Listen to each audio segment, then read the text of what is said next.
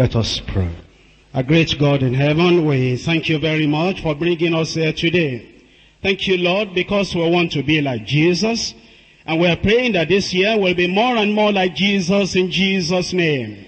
And we're praying, oh Lord, that your grace and your strength, your power, and your presence within us will help us to march on and will march on to victory in Jesus' name. Help every one of us, Lord, so that this year things will be better than it was last year and the previous time of our lives in Jesus' name. We pray that in every life represented here and in all our families, you will be glorified in every life in Jesus' name. We pray, Lord, that your spirit will be with us.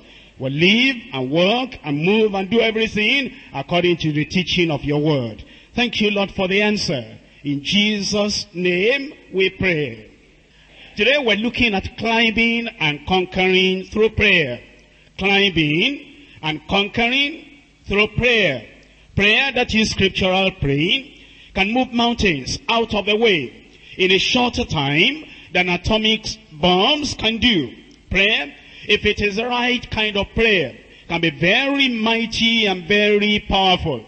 And if the church is ever going to be set on fire, if hard hearts are ever going to be melted, if we are going to reach the lost for Christ, and if our victory over sin and dominion over Satan is going to be real and permanent, it will be because we are prevailing in prayer. That we spend more time talking to God and less time talking to men. And by the grace of God, that's what we're going to do. We're going to talk to God. We're going to pray. And the Lord is going to answer our prayers. In Psalm 18, reading from verse 2. Psalm 18, verse 2. The Lord is my rock and my fortress, my deliverer, my God, my strength, in whom I will trust. He's telling us you need to be of the frame of mind, of the decision, that you are going to trust the Lord. In fact, he says in that verse 2, is my buckler, and the horn of my salvation, and my high tower. Then he makes a commitment. He says, I will call upon the Lord, who is worthy to be praised. So shall I be saved from my enemies. And then he tells us what we'll do. As a result of the strength of the Lord, the power of the Lord in his life, as a result of that prayer in verse 29. For by thee I have run through a troop, and by my God have I leaped over a wall. As for God, his way is perfect. His word, the word of the Lord is tried. He is a buckler to all those that trust in him. For who is God except save the Lord? And who is a rock except or save our God? In verse 43, it tells us, Thou hast delivered me. He will deliver you in Jesus' name. You have delivered me from the strivings of the people. And thou hast made me the head of the heathen. A people whom I have not known shall serve me. It will be a new experience in your life. In uh, Romans chapter 8, Romans chapter 8, reading from verse 37. Romans chapter 8, reading from verse 37. Nay, in all these things, we're more than conquerors through him that loved us. For I am persuaded that neither death, nor life, nor angels, nor principalities, nor powers, nor things present, nor things to come, nor height, nor depth, nor any other creature shall be able to separate us from the love of God, which is in Christ Jesus our Lord. If you can pray, if we can pray this year, there'll be a strong persuasion within your heart that nothing on earth, nothing coming from hell, nothing in the sky, nothing anywhere will be able to separate you from the Lord. You'll be steady and steadfast in the way of the Lord and the will of the Lord all through this year. You know, if all the children of God will be faithful in prayer, and hold on on our knees and prevail before quitting, well, we'll be strong this year. We'll be more than conquerors this year. No one can be a mighty spiritual warrior no one can be a spiritual giant without spending much time in prayer and in the word of God. To be strong and to be victorious, we have to consecrate and rededicate ourselves to God in intercessory prayer and supplication. If we do what God's people did in Bible days, we won't have the purity and the power that those people in the Bible that they had. Not only that, if we will do what the Holy Bible says to do, then we will see just what will happen. Great and mighty things will happen. I'm challenging you that you will rededicate yourself and consecrate yourself to really pray. Taking every problem to the Lord in prayer.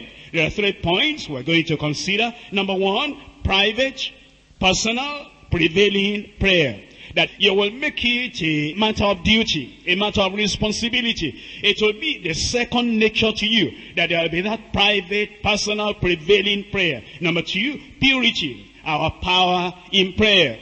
Many people have not known the power, the profit, and the things we possess. If we can have purity, it makes you very strong in prayer. Number three, the power and the possession of praying people. We go to number one, private, personal, prevailing prayer. When Genesis, the familiar passage, Genesis chapter 32, reading from verse 24.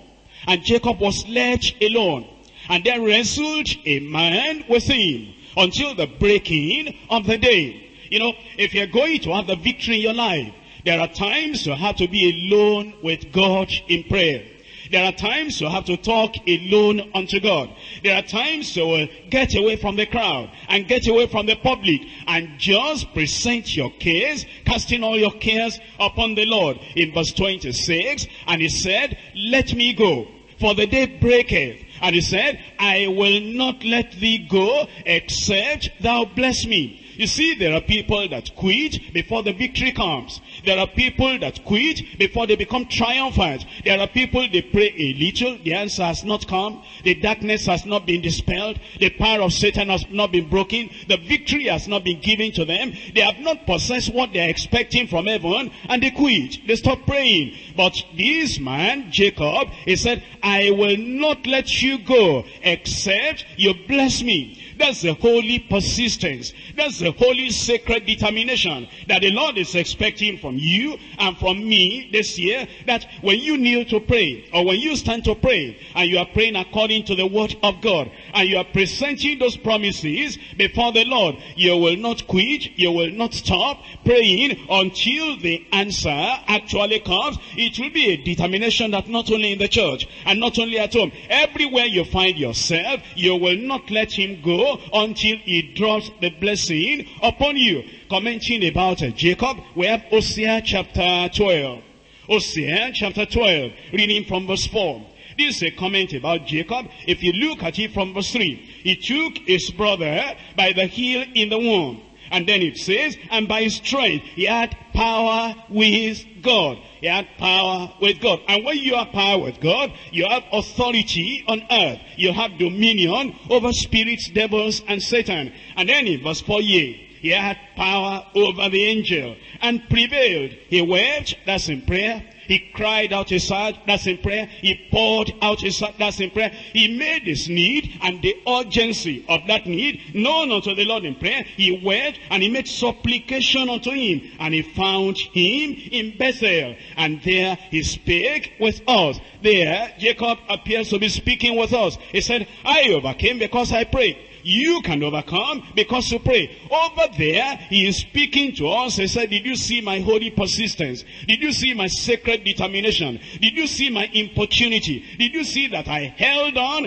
until the answer came? And then he's telling us, you hold on and the answer will come. Private, personal, persistent, prevailing prayer. We're looking at Luke chapter 18. We look at what Jesus Christ said a great lesson that he taught us concerning prayer. If we are going to live a better life, a shining life, that the Lord will put a shine on your face, that the Lord will just make you to see the backside of the devil and give you the victory that you never had before. In Luke chapter 18, reading from verse 1, and he spake a parable to them unto this end, that men ought always to pray and not to faint. What a wonderful thing if you and I will make the decision. Every problem that comes to us personally, every problem that comes in the family, every problem that comes to us in the church, that men ought always to pray. Don't grumble, pray. Don't murmur, pray. Don't fight, pray. Don't oppose, pray. Don't criticize, pray. Don't give up, pray. Don't commit suicide, pray. You know, if we can just pray,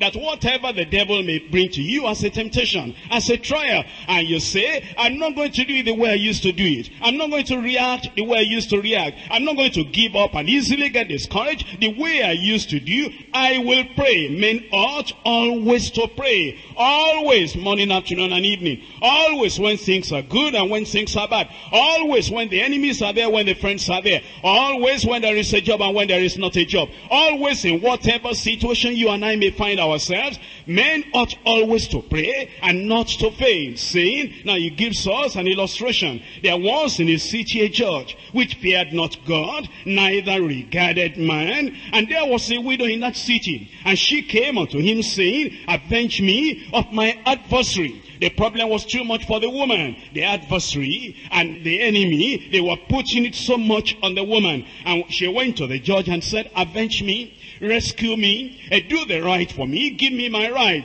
And he would not for a while. He would not for a while. You may pray for five minutes and the answer may not come for a while. You may even pray for a day and the answer may not come for a while. We're talking about private, personal, prevailing, persistent praying. It didn't come for a while and it will not for a while. But afterward, he said within himself, Though I fear not God, nor regard man, yet, because this woman troubleth me, I will avenge her, lest by her continual coming she weary me. Remember, this was the parable Jesus himself told. He was buttressing the fact. He was emphasizing the fact that men ought always to pray and not to faint. You see, we give up too soon. I have prayed, I've not been healed, we give up. I have prayed that and I've not been saved, we give up. I prayed, I've not been sanctified, and then we give up. I prayed and that bad habit has not been broken, and then we give up. I prayed and my life is not better yet, and then we give up. He said, always to pray.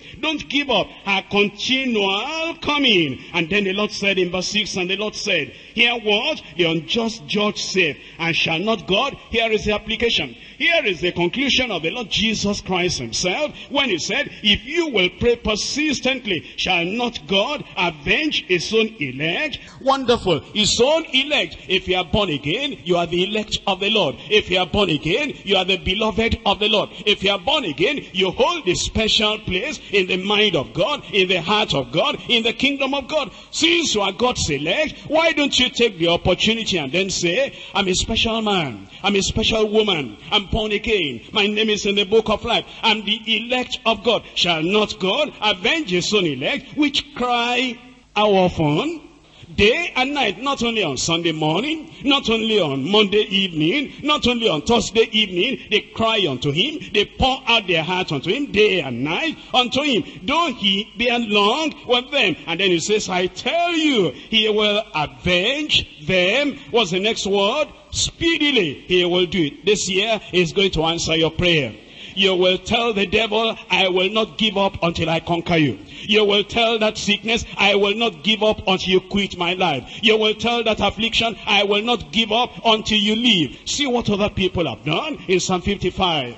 Psalm 55, reading from verse 16. As for me, I will call upon God, and the Lord shall save me. He will rescue you. He will deliver you. And if you are still a sinner, as you call upon the Lord, he says, I will call upon the Lord, and the Lord shall save me. Evening and morning and at noon, I will pray and cry aloud. You see that? Not a kind of prayer you are praying, and then you are sleeping. Not a kind of prayer you are praying, and you are whispering something, and before you know it, you have slept off. I will cry aloud. I will pray to the Lord, and he shall hear my voice. He has delivered my soul in peace from the battle that was against me, but there were many with me. Now you will see there that that man made a commitment. He was going to pray, and he was going to pray morning, noon, and evening. He was going to pray continually calling upon the Lord, and it was going to be a continual thing in Daniel chapter 6.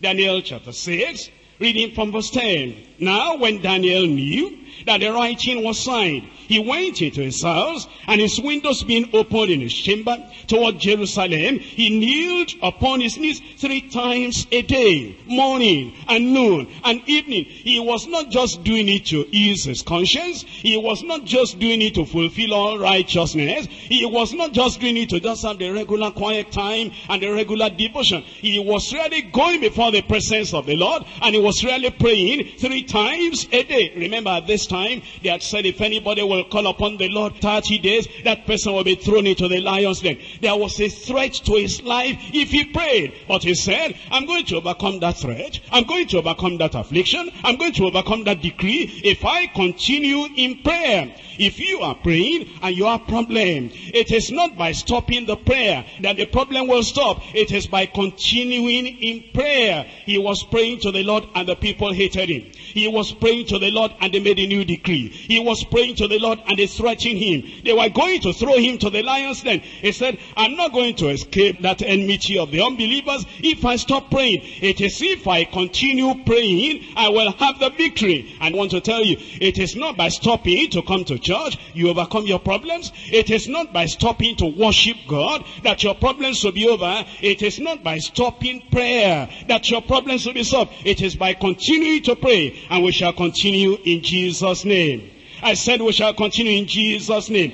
And he kneeled upon his knees three times a day. And he prayed and gave thanks before his God as he did aforetime. He will not allow anything to hinder him. He continued as he did aforetime. Let me show you one secret. Why his prayer was answered. He prayed in the word. He prayed according to the word. He prayed through the word. He prayed by the word. You see, when you are praying, the word of God should be very near you. So that you read that word. On the basis of what you read in that word, you pray. And it is by that word, and through that word, and in that word, upon that word, under the authority of that word, you are basing your prayer. It's in Daniel chapter 9. Daniel chapter 9 verse 2 in the first year of his reign I Daniel understood by the books the number of the years whereof the watch of the Lord came to Jeremiah the prophet that he would accomplish 70 years in the desolation of Jerusalem. And I set my face unto the Lord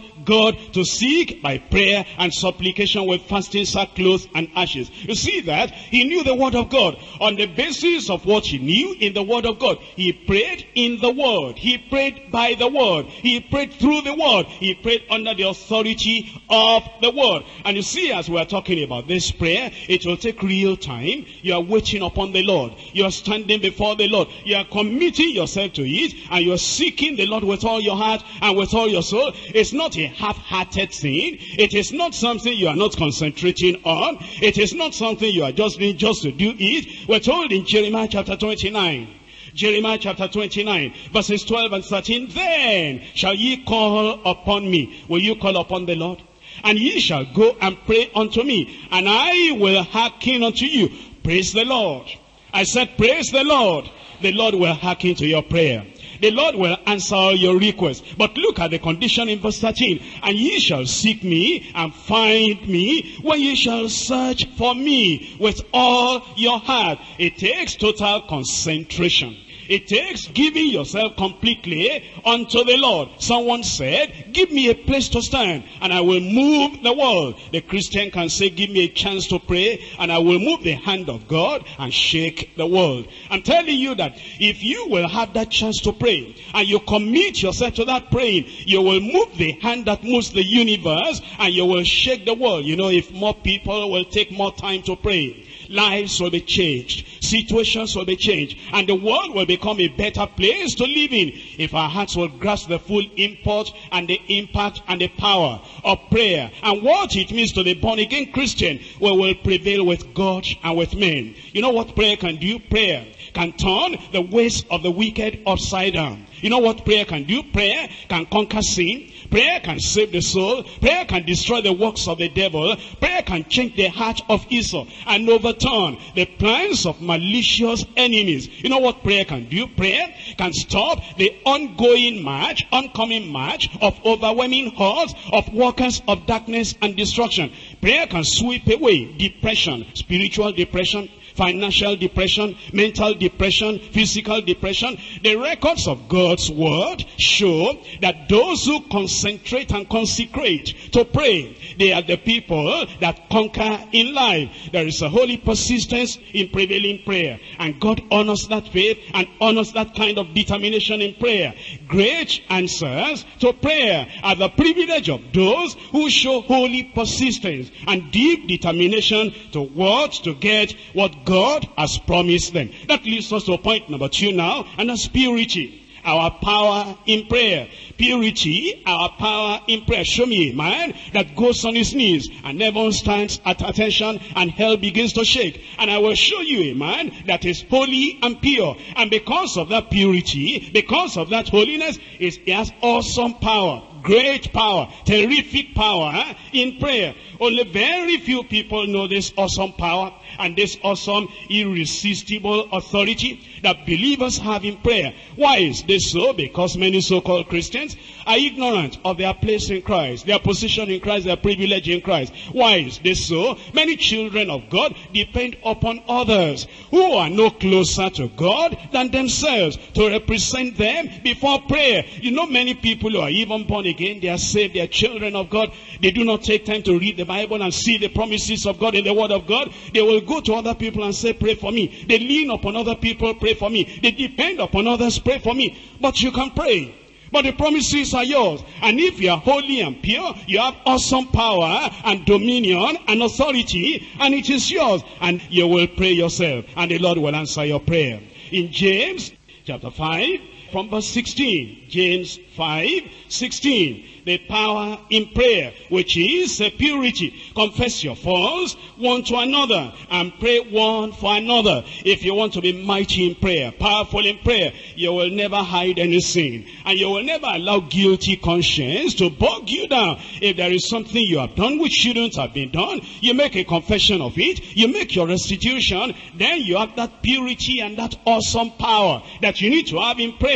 Confess your faults one to another, and it says, and pray one for another that ye may be healed. You know, sometimes it's not just a going and praying and praying and praying. That's not what gets us healed. It's not just a fasting and fasting and fasting that gets us healed. When there is a fault, when there is a sin, when there's something you are covering and you confess it and you expose it and you apologize to the people you have offended and you confess it before the Lord and the blood of Jesus Christ, his son, cleanses you from all unrighteousness. And then you come back to pray. The promises of God will be yes and amen. That's why it says that ye may be healed. Then it says the effectual fervent prayer of a, of a righteous man availeth much. You understand the words here? He didn't say the prayer of a sleeping man, of a dozing man, of a yearning man, of a lukewarm man or woman availeth much. You see, there are people that are so lazy and cold and lukewarm in prayer. It's the effectual fervent prayer of a righteous man. You see the righteousness there? It's very important. We understand there must be righteousness. Be sure, first of all, that you are born again. Be sure that your institutions are made. Be sure that the blood of Jesus has cleansed you and washed you from all unrighteousness. Be sure that Christ is living the victorious life, the righteous life in you. And then you can go before the Lord in prayer. You'll demonstrate a dominion when you pray in First John chapter 3. First John chapter 3 verse 22. It says, whatsoever we ask, whatsoever spiritual things, whatsoever material things, whatsoever things that are relating to our family, whatsoever things relating to other people, whatsoever we ask, we receive of him. Why? Because we keep his commandments. You see the purity there. You see the righteousness there. You see the holiness there. Because we keep his commandments and do those things that are pleasing in his sight. When you do the things that are displeasing, to God, the things that annoy God, the things that show that you are rebellious and disobedient against God, it hinders your prayer. But John the beloved, the apostle, is telling us we are receiving answers to our prayer.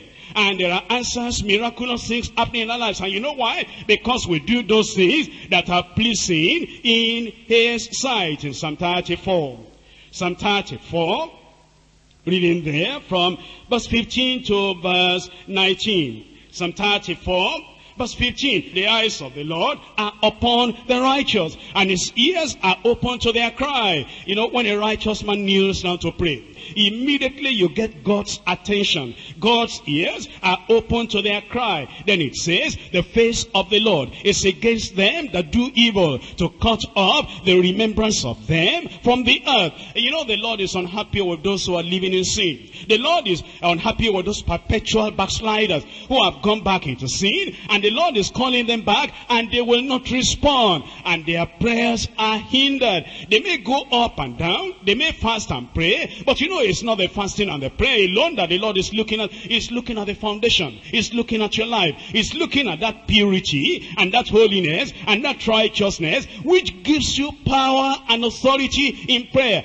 Once it is there, prayers are simple and they will be answered. Once it is not there, then you understand why we're having failure in verse 17. The righteous cry. The righteous, they call upon the Lord. The righteous, they pour their heart before the Lord and the Lord heareth and delivers them out of all their troubles. How many of their troubles?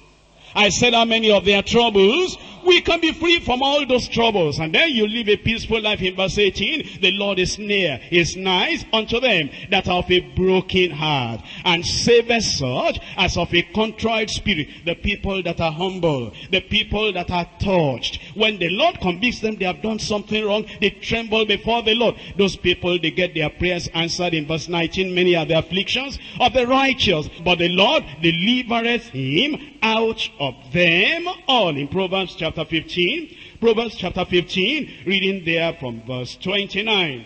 Proverbs 15, 29. Here it says, the Lord is far from the wicked, but he heareth the prayer of the righteous. He heareth the prayer of the righteous. You understand now? Salvation is very important. That means there's repentance, reconciliation, righteousness, redemption. It means you have come before the Lord. You repented of your sins. You said, Lord, I used to be a sinner. And I used to love all those evil things. But I repent completely. And then you are reconciled with the Lord. You become a child of God. And then he imputes his righteousness into your life. And then you become one of the redeemed of the Lord. Number one, repentance. Number two, reconciliation. Number three, righteousness. Number four, you have that redemption. You see, that gives you boldness to come to the presence of the Father. Righteousness actually makes us to reign with Christ. We're told in the book of Proverbs, the righteous are bold as a lion. And you'll not be afraid of Satan's accusations because purity of heart gives you power and there is no power in prayer without heart purity. The holy man standing on holy ground, praying to a holy God, lifting up holy hands with a holy mind and with holy motives in prayer cannot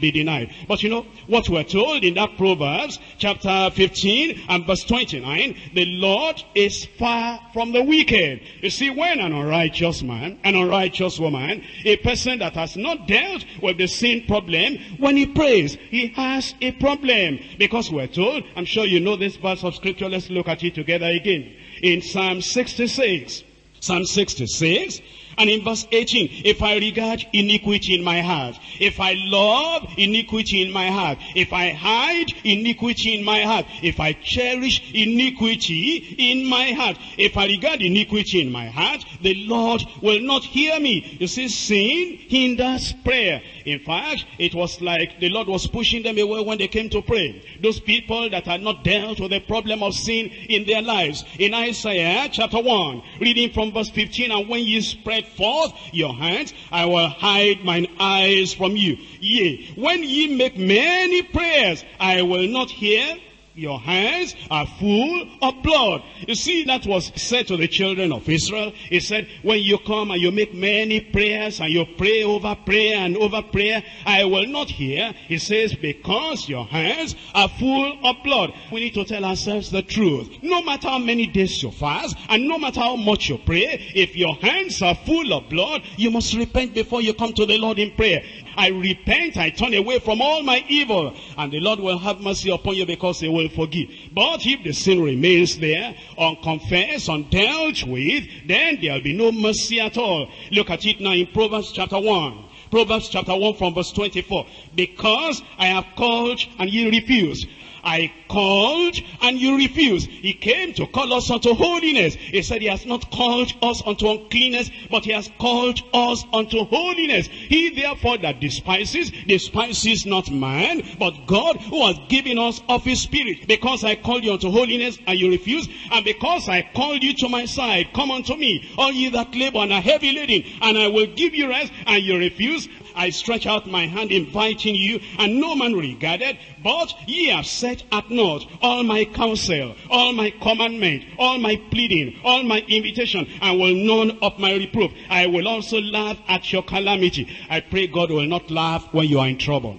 I pray that God will not laugh when you are in calamity. If you don't want God to laugh at your calamity, you come to the Lord as he invites you. He says, I will laugh at your calamity. I will mock when your fear cometh, when your fear cometh as desolation, and your destruction cometh as a whirlwind. When distress and anguish cometh upon you, then shall they call upon me but I will not answer. I called them to repentance and they did not answer. When they call upon me on their request, I will not answer to you. They shall seek me early, but they shall not find me. For they hated knowledge and did not choose the fear of the Lord. They would none of my counsel. They threw away my commandments. They despised all my reproof. Therefore shall they eat the fruit of their own way and be filled with their own devices for the turning away of the simple, of the foolish, of the one that remains in sin shall slay them, and the prosperity of fools shall destroy them. But whosoever hearkeneth and listens and obeys the word of God, hearkens unto me, shall dwell safely, and shall be quiet from the fear of evil. The Lord wants to answer your prayer. In Proverbs chapter 28, Proverbs chapter 28, reading from verse 9. He that turneth away his ear from hearing the law, even his prayer shall be abomination. He that turneth away his ear from hearing the word of God. No, I don't want to hear about holiness. He that turneth away his ears from hearing the word of the Lord, even his prayer shall be abomination. You understand what the Bible is saying? It's saying that sin, iniquity, transgression, or disobedience will weaken a man in prayer. Pride and hypocrisy will keep a man far away from God and the promises of God will be far from such a person. The Bible is talking about the liar and the deceiver, the covetous and the idolater, the witch and the sorcerer, the thief and the wicked one, the unrepentant sinner, the ordinary churchgoer that doesn't bear the fruit of repentance. He's wasting time praying. He's wasting time fasting. He's wasting time hoping and expecting an answer from the Lord because they and their prayers are abomination to God. If they are not free from sin, then they will not be free from Satan. They will not be free from oppressions of Satan. But the Bible says that godliness is profitable, not only in this life, but in that which is to come. It means the holy and the righteous. They have a special place in God's heart, a special power in prayer that's unknown to many religious people. Salvation actually that brings holiness into our lives and uh, sanctification that perfects us in that holiness will make us to be awesome, will make us to be having dominion, will make us to have authority in the place of prayer. Now we come to number three, which is power and possession of praying people. The power and the possession of praying people. You're asking the question perhaps, if I will dedicate myself, if I will give myself to prayer, if I will surrender myself to prayer, what difference will it make in my life? A lot of difference, a lot of difference. If you will consecrate, rededicate yourself to the Lord in prayer. We go back to that Genesis where we started. Genesis chapter 32. Genesis chapter 32, reading from verse 26, and then I join verse 28. And he said, Let me go, for the day breaketh. Here is the angel of the Lord that had been sent to Jacob on purpose. And the Lord has sent his messengers to us on purpose. And yet there'll be a test that will come to you.